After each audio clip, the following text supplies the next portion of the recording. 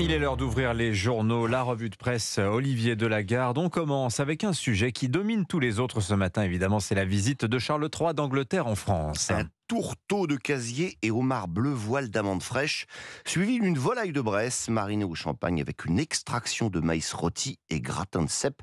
Et pour finir, entremets à la rose, litchi et framboise sur une base de macarons. À l'instar de Libération, ce matin, c'est presque ça que retiennent le plus les journaux aujourd'hui.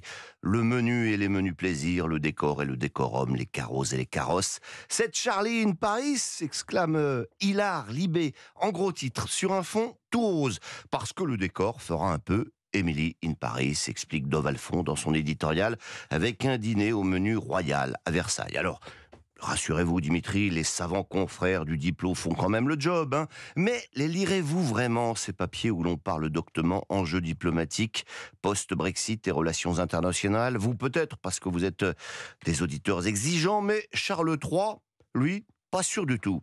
Vous savez, s'excuse-t-il auprès de Macron à la une de l'opinion, vous savez, j'ai le titre de roi, mais je n'en ai pas le pouvoir.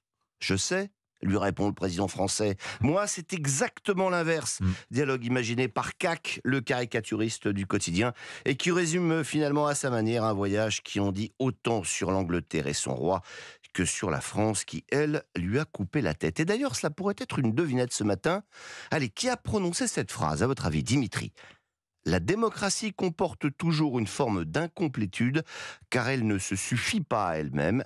Dans la politique française, cet absent est la figure du roi dont je pense fondamentalement que le peuple français hmm. n'a pas voulu la mort. Bah, C'était Emmanuel Macron, ça. Gagné. Emmanuel Macron, dans le 1 hebdo en juillet 2015, rappelle le Figaro, vous avez une excellente mémoire. Et ce n'est pas une déclaration à l'emporte-pièce pour faire le malin, affirme François-Xavier Bourmeau. C'est la grille de lecture de sa compréhension du pays. En fait, écrit-il, notre président n'aime rien de plus que de se glisser dans les petits chaussons monarchiques que lui ménage la Constitution. Tout nouvel occupant de l'Élysée reçoit effectivement avec son mandat plusieurs titres de noblesse, rappelle-t-il, et Emmanuel Macron y a accordé une attention comme aucun de ses prédécesseurs. En 2019, investi co-prince d'Andorre, il avait poussé le soin du détail à faire réaliser une photo officielle sur laquelle il posait à côté du drapeau de la petite principauté en arborant le collier officiel. Et de rappeler également qu'après sa déclaration de candidature en 2016, il s'était rendu en toute discrétion à la basique de Saint-Denis pour se recueillir devant les tombeaux des rois de France. Qu'est-il venu chercher là, dans ce grand silence de marbre où dort l'âme de la France, conviction, onction, transmission, inscription, écrivait à l'époque, euh, non sans une certaine emphase, Bruno Roger, Bruno Roger Petit, le journaliste rappelle le Figaro, qui deviendra par la suite le conseiller mémoire de l'Élysée. J'ai lu aussi qu'Emmanuel Macron était co-roi d'un petit îlot. Euh, Les îles du Faisan. Exactement, l'île du Faisan, vous avez raison, qui fait 3000 mètres carrés, c'est tout petit, à l'embouchure euh, du fleuve séparant le Pays Basque de la fin. La le, effectivement. Bon, tout cela ne nous fait pas oublier, Olivier, les problèmes des Français. Si, c'est justement aussi le but de la manœuvre, hein. mais le réel va revenir très vite parce qu'en gros titre, les échos nous annoncent le retour du pétrole cher, le baril est en route vers les 100 dollars, prévient le quotidien économique, et les conséquences sont explosives.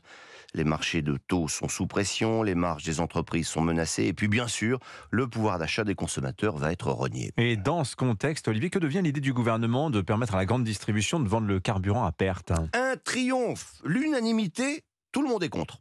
L'opération a même déjà fait long feu, signale le Parisien. Officiellement, raconte Odile Plichon, les distributeurs invités par Bruno Le Maire à Bercy pour en discuter n'ont pas voulu faire de commentaires, mais en off, comme l'on dit, les patrons de la grande distribution ne décolèrent pas. Samedi soir, quand on a découvert l'interview d'Elisabeth Borne dans votre journal, on a d'abord cru que vos journalistes n'avaient pas compris ses propos, explique l'un d'eux. Franchement, elle a fumé la moquette, balance un autre.